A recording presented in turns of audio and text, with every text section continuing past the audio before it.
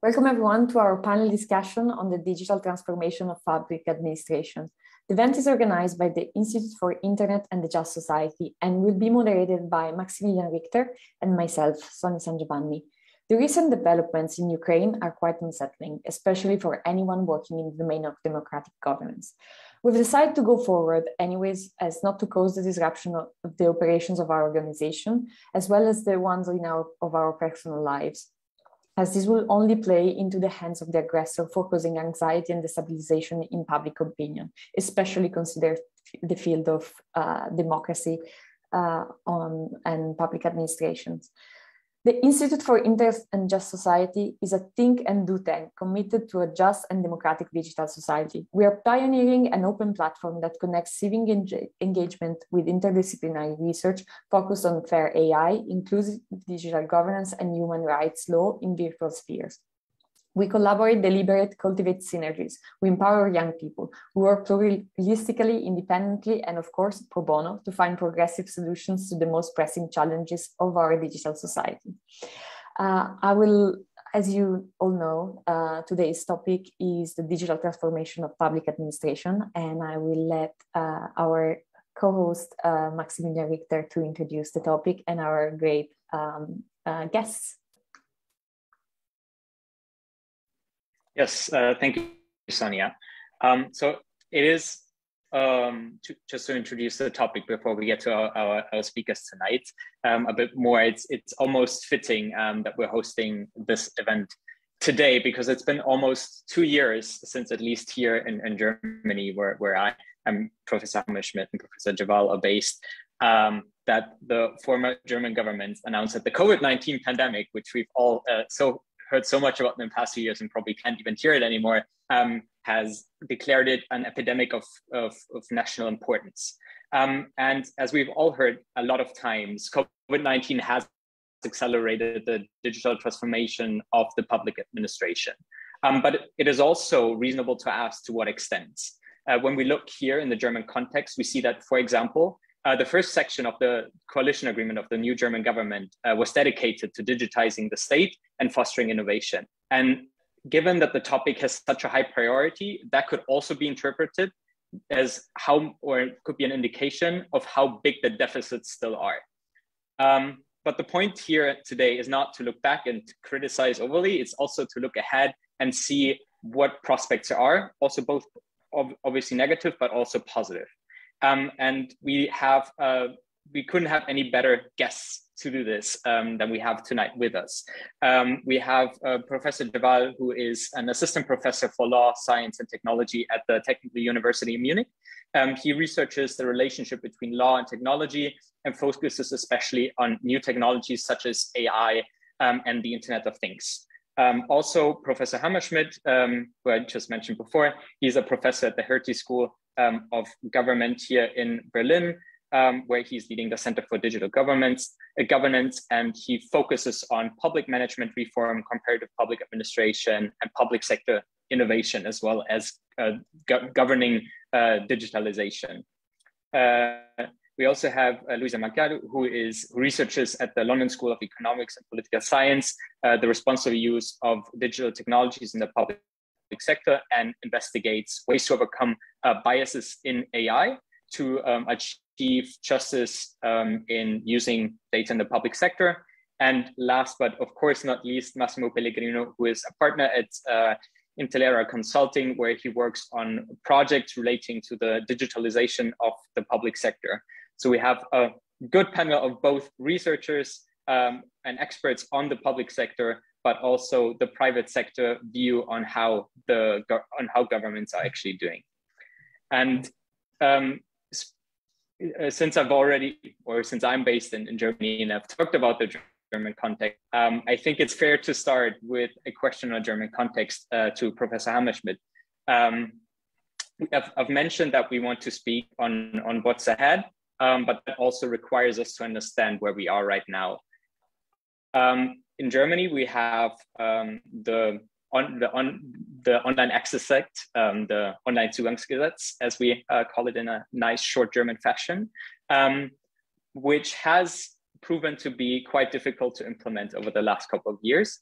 And now we have seen uh, nine German Länder um, published a joint position demanding a successor, the Online Access Act, the Online Access Act 2.0, so to speak, um, which which they want to be more efficient and transparency in terms of controlling and financing the digitalization of the public sector. Um, Professor Hammerschmid, um, could you please provide us just with some background on the Online Access Act and the new proposed Online Access 2.0 and how it could look like and what it would mean uh, for the German public sector? Apologies, that was a lot of questions packed into one. Okay, thanks a lot and a very warm welcome. It's really a great pleasure to be here with you today. Um, I think the question you've just raised, I could answer, I think, for half an hour. Um, we probably will not have that time. Um, it's also, I think, a very specific German thing. But what I wanted to somehow illustrate, maybe use this, this case to illustrate, is the challenges we currently face in, in transforming public administration. And I think that's where my background comes. I'm now in this field of public sector modernization for 25 years. Um, and I've seen so many enthusiasms come and go, so many reform ideas with big promises. And then you really see, I mean, do we really transform? And often the empirical evidence is, is much more. So, and that's what I want to bring in. We have to be realistic with our expectations. We have limited capacity government. The purpose of government and public administration is not to transform, to be innovative, to be digital. They have much more other, it's, it's provide stability, security. And I think that's something what we should not forget. And this kind of um, the, the, kind of um, project like you've just mentioned is a wonderful example of that. I mean, for me, it's a fascinating object to look at. It, it was, I would describe it uh, the, the most ambitious reform project ever launched by German government. It was really the promise there was a law done um, 2017, and the promise and that the law was somehow um, um, binding to government to implement to make all government services in Germany online within five years. So until the end of year 22. So we are still in, in the implementation phase. And that would mean, I mean, you if you know the complexity of German public administration, three government levels, I mean, it took nearly one year just to see what kind of government services do we have, which you now have to make um, um, online or digital. And this, I mean, I was totally puzzled from the start. I mean, how could you endeavor in such a mission impossible project? I mean, we had plans to implement much slower um, um, um, um, numbers of online of services over the last 25 years. We have not succeeded, and suddenly there was a law to implement all services in five years. I mean, nearly impossible. I recently also was in a debate with somebody from local government. She she somehow mentioned it was a big botch, a murks, a big murks. Let me just shortly mention what the challenge was, and I think and what we really could see if you make a project on digitalization too large, too complex, you will fail. And this is what we exactly saw with this law. I mean, at the moment, if you look honestly, what has been done up till now, how much does the, how much of these services are really available in an online form to the citizens so that they really have better services? Honestly, hardly anything. So I think if you would ask the average German citizen on the street, um, what do you see? What kind of benefits do you see? None. And I think that's something what we always have to question ourselves. What is the empirical evidence of this?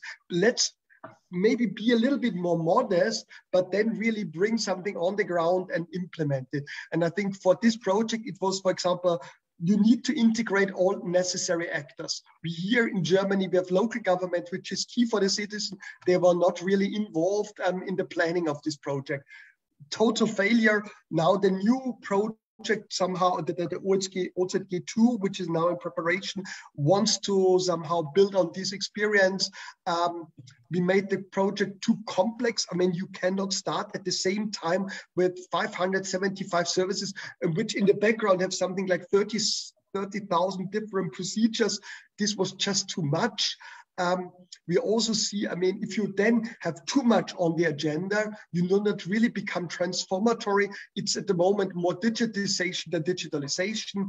And it also very much ignored experiences from the last 25 years. It did not look at capacity issues and, and, and the complexity of German federalism. And that's what I think we always have to be aware of the, the, the, the, understanding of what is doable, manageable in public administration at the same time, I like that we have all these visions, what could be doable, but we need to be realistic, what is, is achievable. Otherwise, it's only, and that was what it was the last year, a dream world for consultants and IT providers. So much money around, you can, you could earn as much as possible, but I mean, the citizen did not really profit.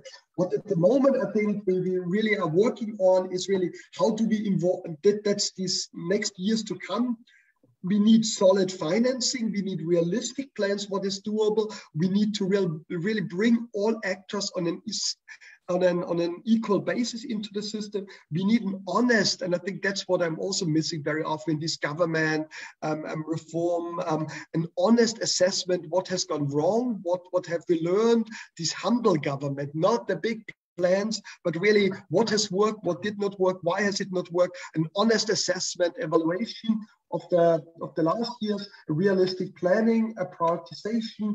Um, and we also have to think about how we really can scale up something. Um, cannot touch that now in detail, but I think you cannot centrally plan such such a complex project. You need to bring in more competitive market oriented that element. So I think um, there is much more to do in this direction. We need to focus also on based on the infrastructure thing, back-end processes, which was not really considered in the old project. Budgetary issues were not really thought about. So all the capacity things, HR topics, so much more to address and I stop now, but I think it shows you a little bit. It's easy to talk about the wonderful vision of um, um, uh, transforming um, government and making it more digital, but to bring that on the ground, this is really the big thing. What we have to be work on, and we have to be decent and realistic.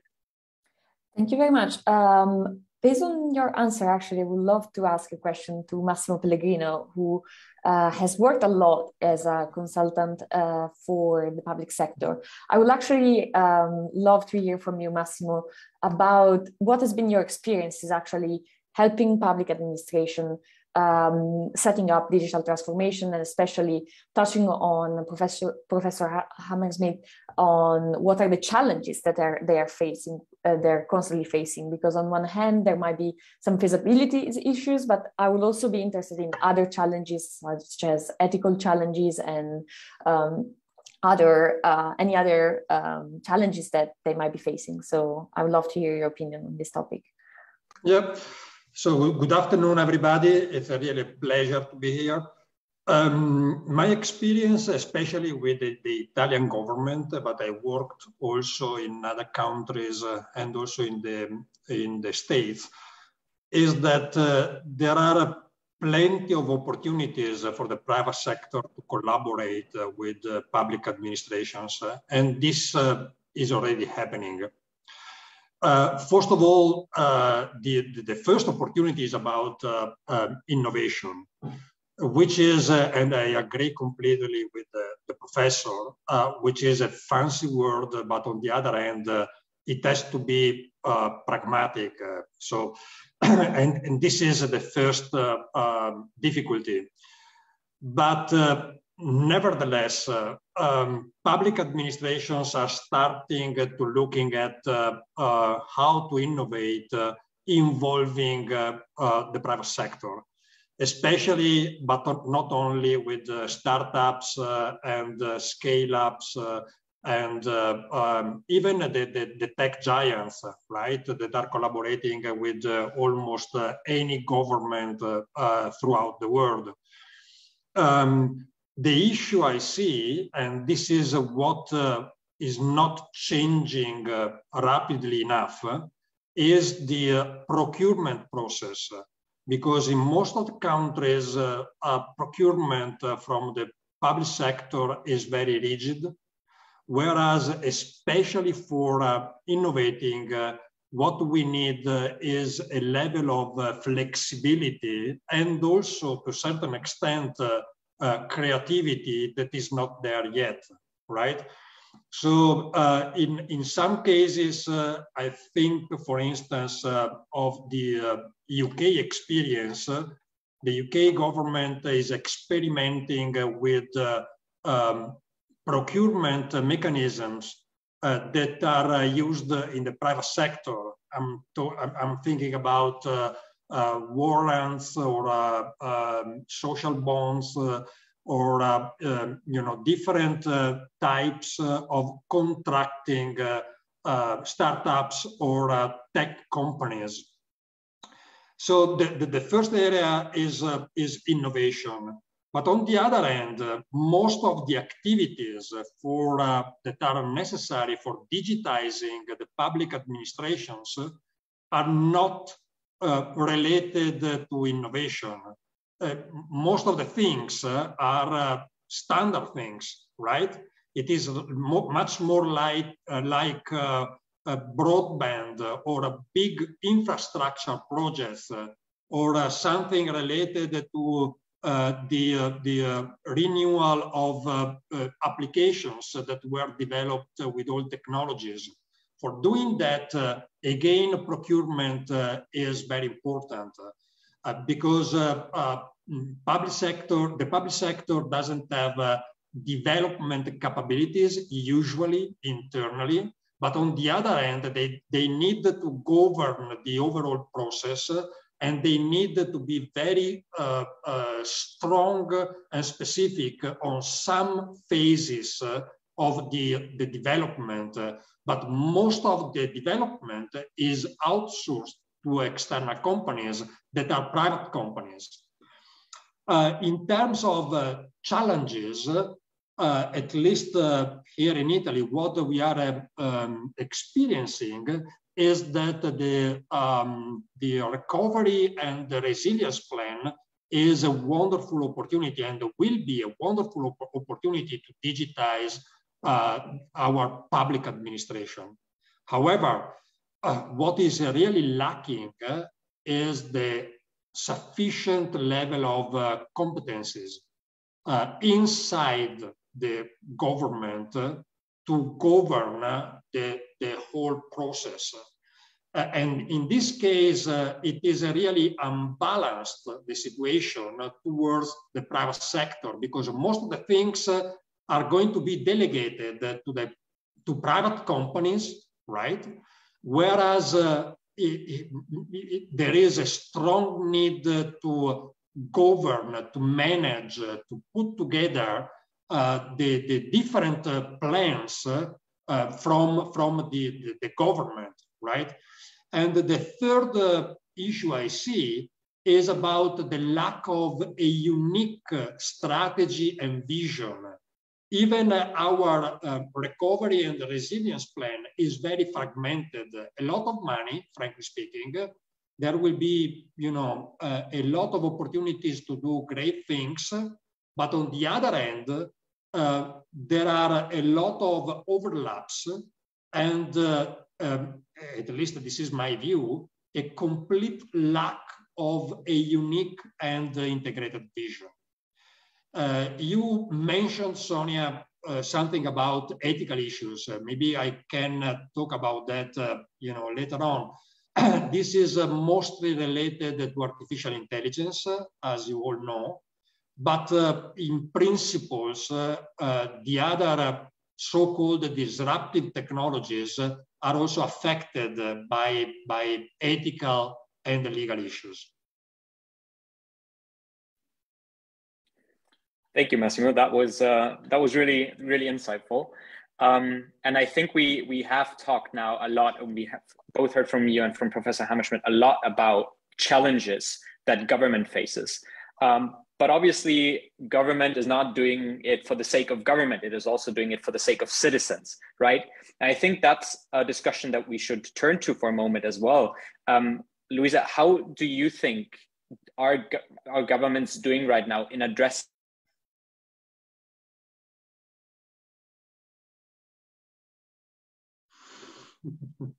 I think we've lost Maximilian for a second.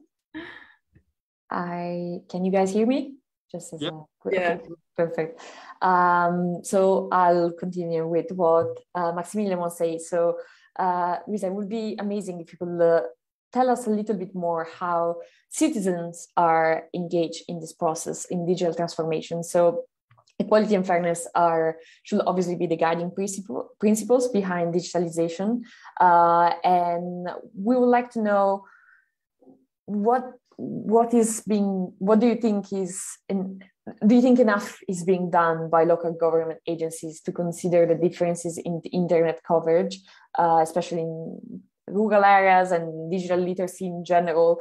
Um, and especially what are they doing when consider what do you think it's important to consider when designing new ways to interact with citizens and uh, considering digital transformation um, sure well first of all thank you so much for inviting me it's a pleasure to be here um, i think you know just to dive into the question i think you know every time that I think about this issue every time I think intersectionality, intersectionality, intersectionality. I think that when we talk about digital connectivity or, you know, in this case, digital divide, um, this is really the main concept that needs to be in our heads. And, and in my opinion, this is one of the weaknesses um, of many projects carried out tackling the issue of digital connectivity by local governments. Um, you know, as the necessity of accessing a digital device for anything from basic services to entertainment to work you know it grows stronger over the years. And and especially since covid i feel like the discussions over the digital divide really need to scale up. Um you know africa and latin america which are two regions i'm very interested in um they have felt this effect particularly strongly um, the lack of an institutional generalized connectivity it's it's quite blatant. And you know the numbers speak for themselves. So today less than 50% of latin america has access to internet. You know um, while only 22% of the african continent is connected. And if we compare it to europe where you know most of the panelists are from europe i'm from brazil and i do think it's important to have you know latin americans also and people from the global south in this discussion.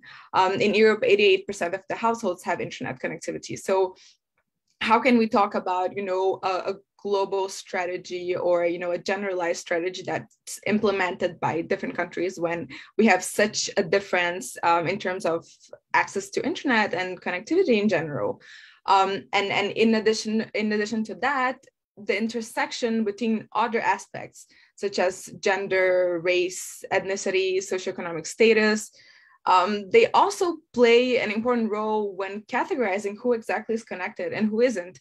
Um, and you know the share of the population who has no access um, they usually hold certain characteristics and that can't be ignored. So they're mostly women outside of the young age group. They live in rural areas. They're part of the developing world. So the digital divide ends up exacerbating other underlying factors of exclusion.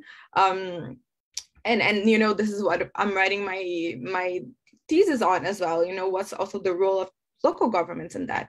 Um, and in latin america for example the process of digitalization was really strongly influenced by a large period of intensive neoliberal influence. Um, and through what we call um, in internet studies data colonialism this often led the, the design of public infrastructures that are based on the extractivism of common assets in the interest of a lot of corporate powers and usually under the discourse of improving local communities but in practice that uh, didn't happen exactly um, in Africa, most projects tackling the digital divide, um, they are designed and implemented by big international organizations who do indeed have the power, money, expertise to do so, but at the same time, lack a deeper understanding of the intersectionalities um, influencing influencing these issues. So I think that would be my take on that. Like intersectionality is super needed, and we have to really scale that up. Thank you, thank you, Luisa. Um, I think it's uh, it's quite ironic how I was just asking a question about internet access and then dropped off for internet issues, um, but that's besides the question. Um, maybe turning to you now, Professor Djeffal, um, we've talked a bit about the state, about citizens, but now let's talk a bit, bit about the inter interaction between the two. Um, and especially when, when it comes to, to your focus of, of research, um, artificial intelligence, uh, you know, more, I hope by now more than a buzzword and an actual technology that's being used um, and it's coming to good use in the public sector.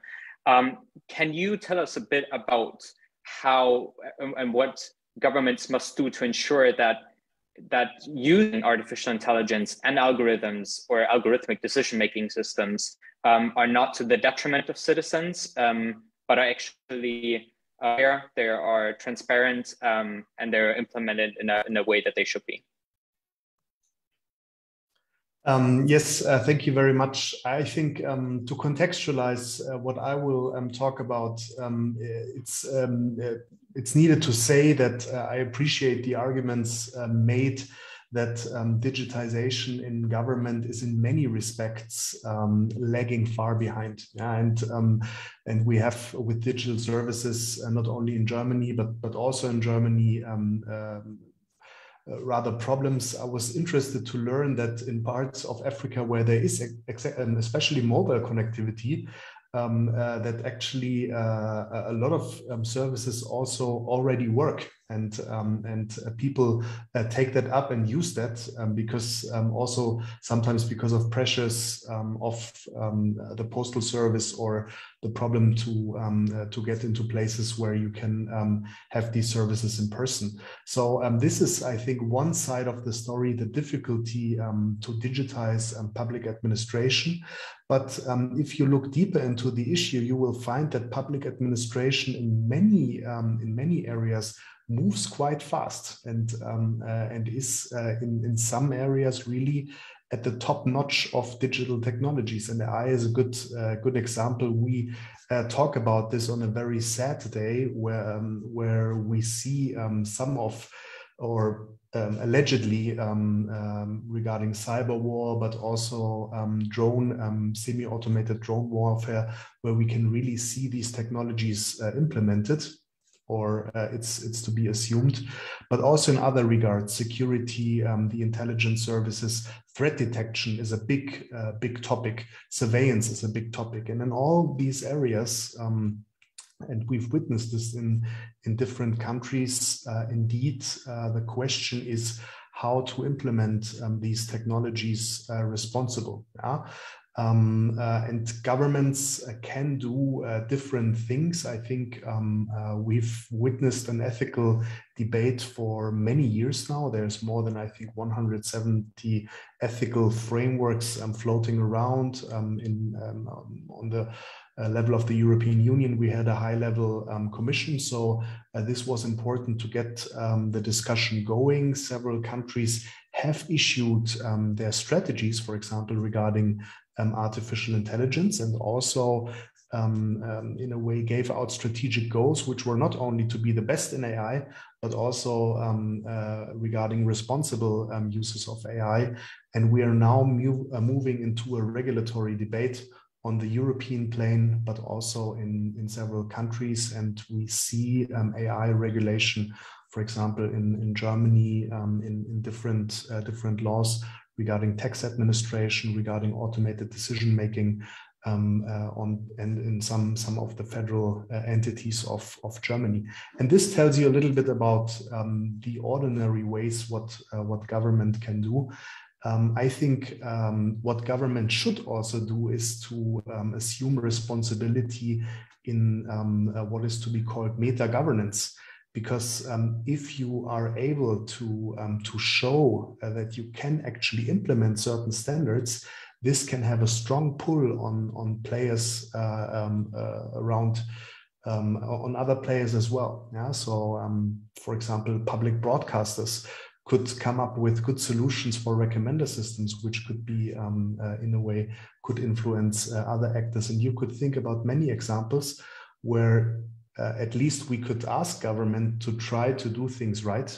Um, and uh, they have a lot of leeway because, um, um, and this is maybe my last point, a lot of the, um, so it's not governments or um, I think the stance of innovation is, is somewhat changing um, in, in many uh, regards, but it's not, uh, would completely agree with uh, Professor Hammerschmid. It's not government government's first um, uh, in a way tasked to, to innovate, but um, through um, uh, research funding, which um, is to a large, large extent um, public, government has uh, some um, some ways to influence innovation. And I think um, this is another way how to, to push, at least in certain regards, for um, responsible uses of emerging technologies. Uh, thank you very much, um, Djeffal. I would love to continue on this topic and uh, go back to Massimo Pellegrino because, I, as he has said before, he has worked extensively on AI regulation, specifically for public administration. And I would like to, I would like you to elaborate a bit more on what has been said right now. Uh, especially, I would love to know uh, what would you recommend to public administrations where, when taking into consideration ethical challenges of AI and their applications. Yeah, um, I think that there is a sort of um, there is a huge gap between uh, the uh, the regulation level um, in terms of what uh, the European Union uh, has done so far, especially for artificial intelligence, but more uh, extensively uh, on disruptive or emerging technologies as well, and what can be done technically. So there are uh, two dimensions uh, because uh, uh, most of the ethical principles or the principles uh, that are um, indicated by the AI Act, the proposal that went out last year in April, and probably, presumably, will be approved either this year or next year, uh, Uh, th there are uh, certain things that uh, need uh, technical solutions, uh, which is a, a sort of a paradox. Uh, so uh, if we talk about fairness and non-discrimination, for instance, what is needed is you know another algorithm that goes beyond what an algorithm is supposed to do. And uh, again, for uh, transparency or interpretability or explicability or uh, robustness. So there, there is a huge research area uh, from a technical perspective that is uh, really at the, uh, at the first stage, right? If we talk about TRL, we are probably at level three or four. On the other hand, if the regulation will be uh, adopted, approved first by the European Union and then adopted by the European uh, member states, uh, you know, uh, public administrations and companies uh, will do, will need to do something. But this something uh, for now is unclear. So the main thing is probably, or the, the only thing that can be done now is the governance framework that can be established to be compliant with what the regulation uh, will dictate. But again, uh, governance is more about uh, processes and rules uh, and checks. Uh, there will be some uh, supporting tools uh, some uh, uh, um, AI governance platform are emerging as we speak and probably or presumably will be adopted to, to, to implement this, this regulation. In terms of the technical things that can be done, at least for now, I'm pretty skeptical because uh, the definitions uh, included in the regulation are not um, sufficiently clear. Uh, uh, for instance, fairness can be defined in uh, hundreds of ways. It, um, most of all, uh, most of them are, of course, context dependent, and it, it, will be extremely, extremely difficult to to to manage this complexity of applying the same tools and methodologies to different uh, contexts and uh, situations. Uh, uh the same applies to uh, um, transparency, for instance, or explicability. So I think that over the next uh, five years, probably, there will be a much better situation in terms of technical solutions. But until then, um, most everything or, or what uh, public administration will be able to do is mainly governance, AI governance, which is enough, right?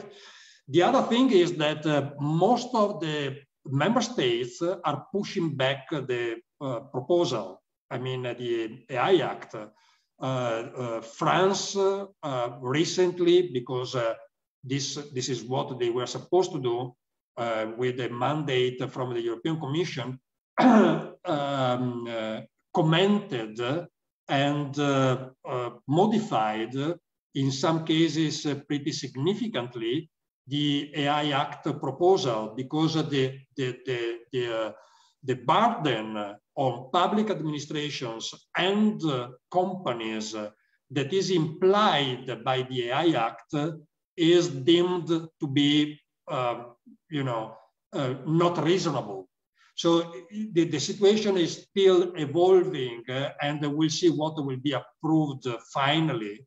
But, uh, you know, for now, this is what, uh, in my view, is going to happen. We are working on uh, a project uh, funded by um, Horizon on uh, the um, ethical framework of this disruptive technologies. it is not just AI, it is robotics, Internet of Things, uh, uh, virtual reality, blockchain, and, and, and, and so on and so forth. And uh, we are supposed, well, we are developing some tools uh, to uh, implement the, the principles uh, that we defined. But, or, you know, there are a lot of code of conduct and principles and mostly are very much uh, similar to what uh, the European Union and the high level expert group uh, defined two years ago. So at the end of the day, from an ethical perspective, from a philosophical perspective, there is nothing that we can say more than that. Now we have to implement what has been said. Uh, and this is what we, are, we have been trying to do with this project funded by the, uh, the Horizon program. Thank you very much, Massimo. I think it's very interesting. And uh, considering we talked about a lot about the Horizon project and we looked at Europe especially, I would love to move to Luisa and actually ask you about uh, your point of view still on this topic, particularly because the ethical debate around AI uh, and generally human rights in the digital uh, space is most of the time centered on Western countries. What are the specific challenges in the global south and what model of governance should be adopted there in terms of AI and uh, ethical fairness? Well, I think this is a super important question, which I, I hope we, we talked about more. I mean, maybe it's going to happen. Hopefully, it's going to happen.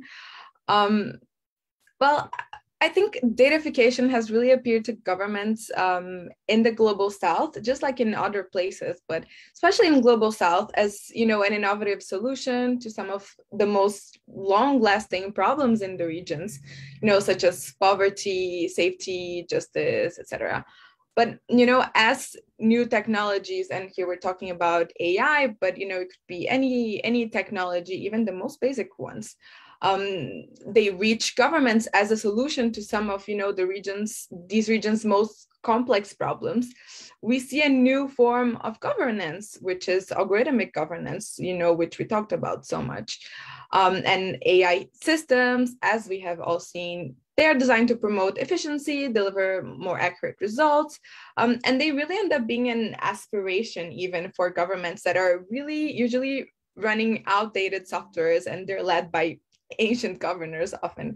Um, so, but you know, there has really been a dangerous tendency in these regions to adopt data-centric systems um, and deliver um, an algorithmic type of governance that doesn't fully assess the potential risks caused by such practices. And you know, different from what we're seeing, you know, rising in the EU, there are no big frameworks for that not a lot of consequences for the misuse of ai you know we see a, a, growing demand for that but still it's not as developed. And you know as this develops we see harms being done to harm being done to many people.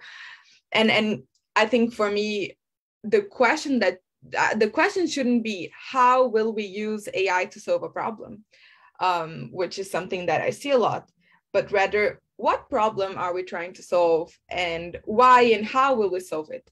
If AI is the best means to achieve this goal, then great, like it can be applied. Otherwise, it shouldn't be forced. And even if AI is indeed the right tool, which can be in many situations. It also can't be a single touch point for citizens. Um, and I think this applies to, you know, the global south, but also to the global north. But in my opinion, and, and that's what my research focuses um, as on as well, and including there's going to be a book chapter that I wrote that will be released this fall, um, which is I think there's a pressing need to apply what I call data justice frameworks. So, in other words, frameworks that help assess whether there is fairness in the way that people are made visible, represented, um, and treated as a result of their production of digital data. So, you know apply these frameworks um, and adapt it to projects that have already been implemented in these regions and future problems uh, projects that will be um, implemented to analyze the potential risks of these systems guarantee privacy non-discrimination um, and you know we really have some sort of governance over this um, and and you know my long-term vision i think it's to ensure that the allure of the data revolution doesn't shield public administrations from developing evidence-based um, ethically built public policy. So i think this would be kind of my take on that. Thank you. Thank you so much luisa. Um, I suggest we, we, we just take a step back now because we've gotten very deep into the discussion of governments and ethics, which has been really, really interesting. Um, but also, obviously, we wouldn't have this discussion if this if the technologies behind them wouldn't exist, right? So we also have to ask the question where the technologies come from um, that the public sector uh, actually uses. And uh, Professor Hammerschmid, maybe over to you again. Um, we see um, in, in some European countries and also now on the European level a new push for for um, a new sector that is called government technology or, or GovTech that tr tries to be more inclusive to also smaller players in the market that have more sometimes better, oftentimes better, more innovative so solutions. How do you see this playing out on both um, a German and a European level? And, and how do you see the importance of, of creating such an innovation ecosystem? I mean, that's definitely one of the direction which I very much support. I mean, um, I will have a meeting next week, Monday. I will be introduced. We now even have in Berlin a GovTech campus. So this is also hot topic in Germany. We just saw last um, I think yesterday there was a call published by the European Commission, an incubator, a GovTech incubator. So I think we are increasingly aware that, and I mean, I think that should be clear. I mean, government alone does not have the capacity. We need to collaborate. I mean, Massimo very much emphasized that. We also had last year a survey with government officials. Procurement is the, the crucial trigger to really enable much more in government digitalization.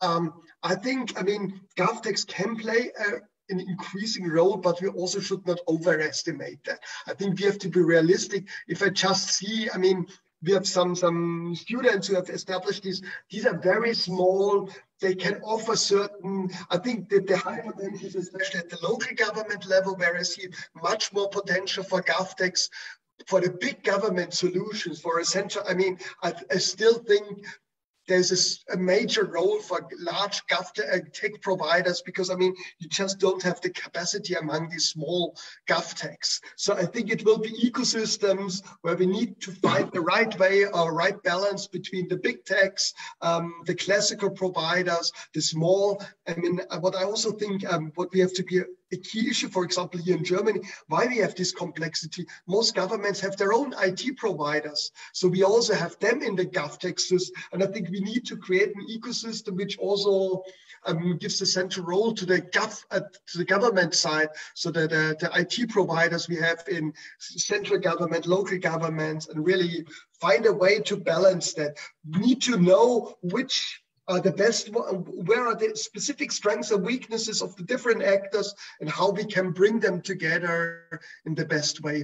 And luisa i very much liked your idea. I mean this global south perspective i've just launched a seminar last week um, with GIZ on this global south, and I, I, increasingly became aware how blind we are on this kind of topic. I mean, there's no literature, there's no research. We have such an, a very, very Europe or um, um modern centered discussion on all this digitalization, and there's so much exciting going on in the global south. But also, I think both the potentials and also the dangers are are much higher in, in both directions. And so I think this would be very interesting for us to learn also from the global south. South America is a wonderful example. And then also because in these areas you can try out much quicker certain things. You don't have this legacy we have in our countries. And I think this exchange on a equal EI side would be much more interesting for the future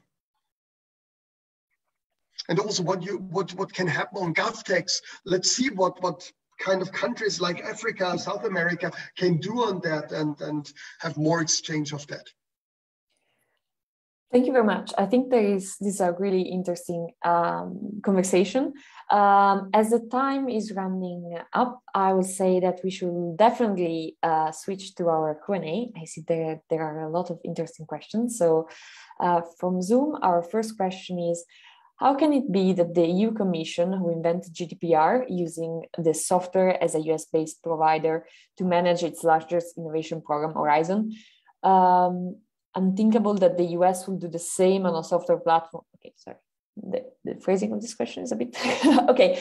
Um, so, how can it be that the EU Commission um, uh, thinks that it's unthinkable that the US would do the same on a software platform that is open to foreign secret services. So I guess the question, generally speaking, is um, what are the how can the EU find the balance between the GDPR and the uh, software platforms that has been uh, provided by the US government, which is potentially open to foreign secret services? And whoever want to take that one, uh, I'm happy to let them speak.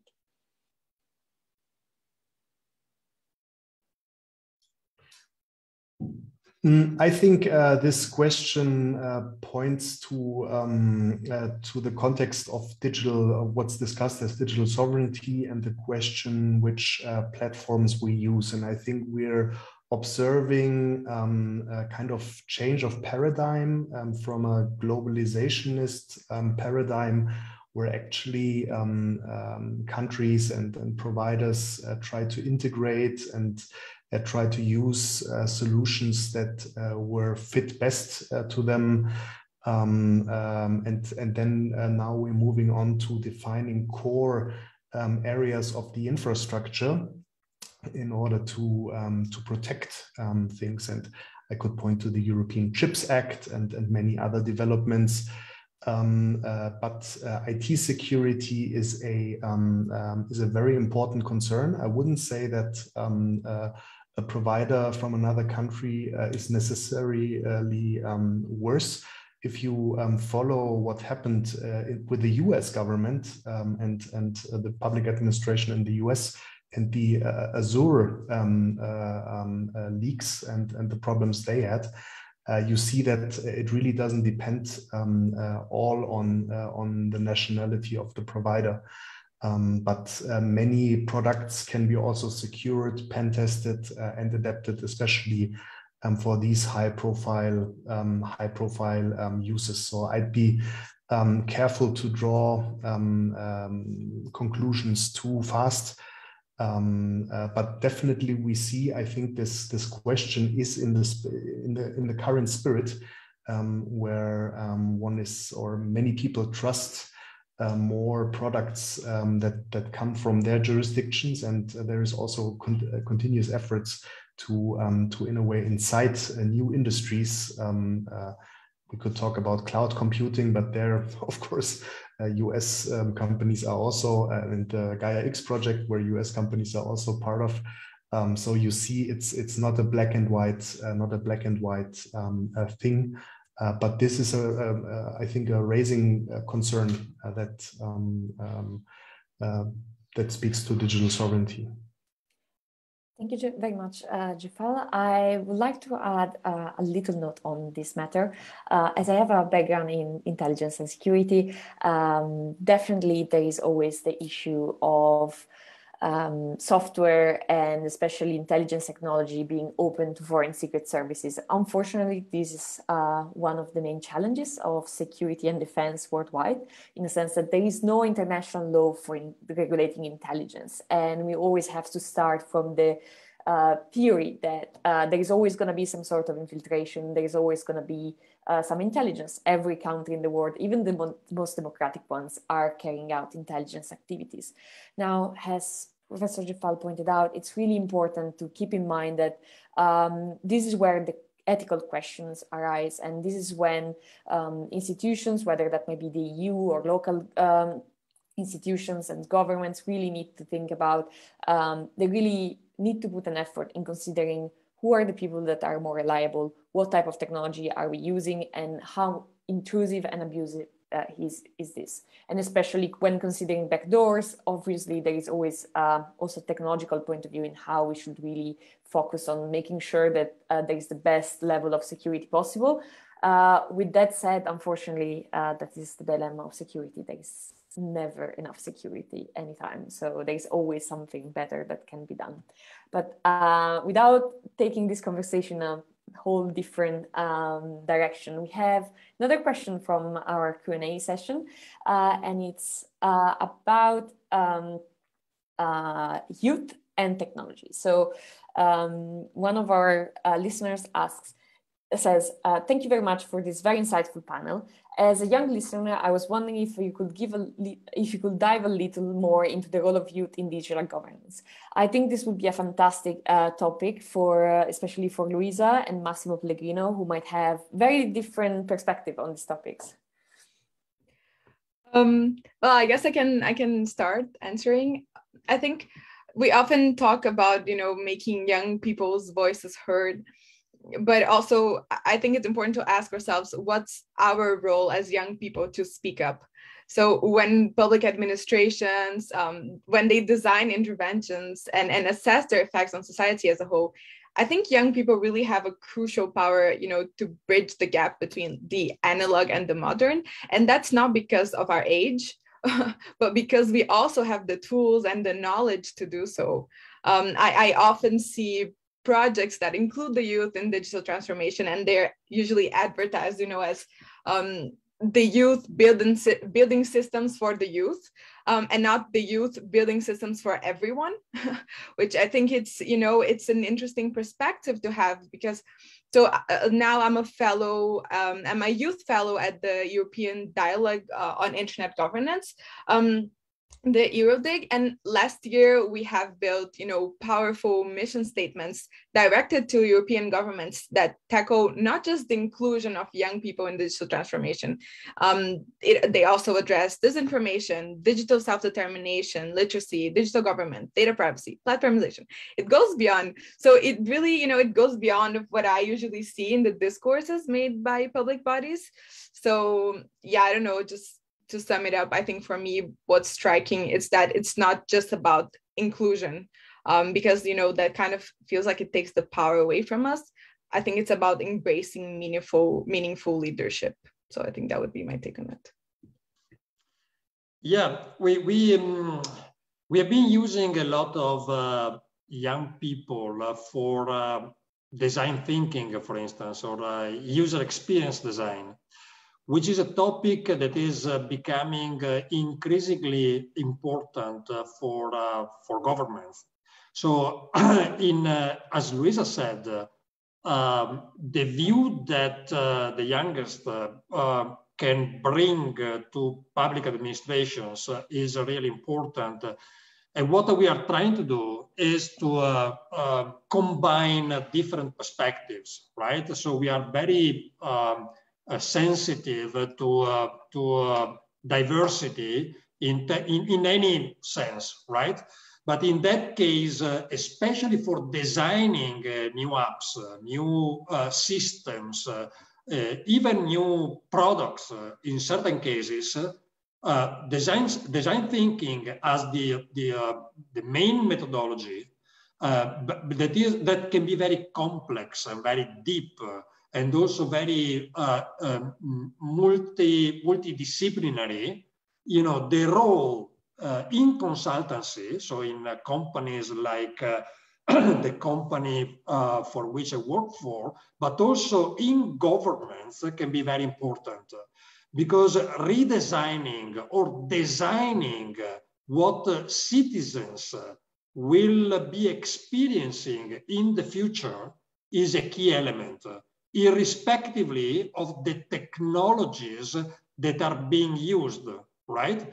So this uh, view, this uh, fresh view in many cases uh, is uh, very important uh, from a cultural perspective uh, and also in terms of us usability, in terms of how things will be used by any kind of people for, for, for public services. Thank you, thank you both, Don Massimo and Luisa. Um, with with the time in in mind, uh, we would have last questions for for all of you, um, and we would appreciate if you could keep your answer as short as possible because it's one of these questions that you could go on and on and on about. Um, it's a question that is, um, you know, it, it shows your pri priorities on, on, on digitalization. It's basically if, if you were to be the next um, digital minister, um, the next digital com commissioner for, for the digital, whatever role you want to assume, um, what would be your number one priority in uh, pushing digital transformation of public administration? Maybe uh, let's start with uh, Pellegrino first. very tough question, actually. Um, probably um, uh, what I have uh, just mentioned, uh, the uh, redesign of the main applications. I wouldn't go for, uh, you know, innovation um, of, you know, very fancy things. I would go for the, the, the basics, the basics the redesign of the main and core applications uh, for governments. Thank you. Um, over to you, Professor Djeffal. Mm, so I'd go um, for the opposite. Uh, what I would try to do is to put um, new people in innovation seats uh, to see um, what people um, uh, really, uh, really want and to have them have a say, but also um, have more um, uh, participate deeper in in this shaping of of technologies um, uh, I think this that speaks to um, to what we said about the global south. That speaks to what we said about uh, about youth. I would like to know uh, not only uh, have them participate as um, as as users, but as innovators. Um, that speaks to vulnerable communities, but also to um, to uh, the population. And I would try to uh, to get a new drive um, by by creating ideas that really matter to the people and that maybe reframe um, technologies in the sense that um, civic um, civic tech and uh, public interest tech uh, comes into uh, comes into technology. So just to um, uh, to shake up, um, of course, I think um, uh, what Massimo Pellegrino said is, is all important and would be the wise thing to do. But I would try to try to shake up things a little bit by by putting people into innovation seats. Okay, that's uh, that's a good point. A good uh, slogan: "Shake up things." Um, maybe, Luisa. Um, I think for me, I would echo. You know, I think what Christian said, and I think also, again, touching on my point about data justice. I feel you know when we're talking about technology and AI and and uh, you know different types of innovation, data is what drives it all so I think it's really important that we have data justice. So, you know, uh, you know a fairness in whatever that means you know in the way that you know people are made visible represented and treated as a result of of their data so for me that's one thing data justice because i think that influences um, a lot of other things. But of course, also having different people leading um, digital government or, and just digital pro- projects in general that influences a lot as well. So that would be my. So we've heard about the basics, the radical data justice. Professor Hammerschmid, what, what would you do in your first day in office? I think we always have to uh, be realistic. I think one thing for me is to prioritize on the, in the air, um, digitalization on the areas where we can create best benefit, impact, public value. So not to, to try to do everything at the same time, but really, and then also measure evidence-based. Do we really um, keep to our promises? Uh, do we see what we promise? So what are the benefits? A little bit uh, also questioning ourselves with all these agendas. Does it make sense? Do we deliver on what we promise? A, realistic evidence-based stance to it. And the third, what I always try to push, I mean, it's people management. Digital, don't make it in the hands of digital experts. No, it needs to be digitalization It has to affect everybody. It's a cross-cutting issue. Make it HR, I mean, how do we, what people do we select? How do we train them? How do we develop them? Digitalization has to be everywhere and it has to be a, a people, an HR topic. And I think that's, if you don't, if you miss this side and keep it in the hands of the digital IT experts, we will not make progress. It needs to be really a cross-cutting issue and with people management, we, we need to do that.